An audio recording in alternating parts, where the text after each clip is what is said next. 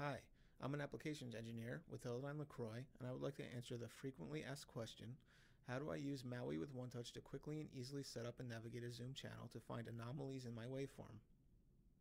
Today we are using a WaveRunner 8000 oscilloscope with the MAUI with OneTouch user interface. The MAUI with OneTouch interface includes features that make it insanely easy to navigate our waveforms.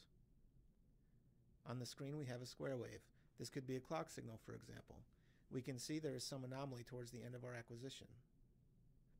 We use MAUI with OneTouch to zoom into the area and use the pinch zoom gesture to adjust zoom level. It looks like we have a runt. We enable normal trigger mode and we can see the runt is reoccurring. We stop the trigger. We navigate to the new occurrence of the runt by using the swipe gesture on the zoomed waveform to move to the new location. The swipe gesture includes acceleration control so we can get where we want to quickly and easily. We can trigger on the runt by selecting the trigger dialog box and enabling the runt trigger.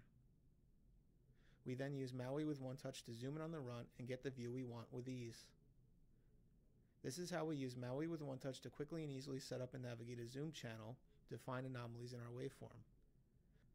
For more answers to frequently asked questions, go to teledynelecroy.com FAQ.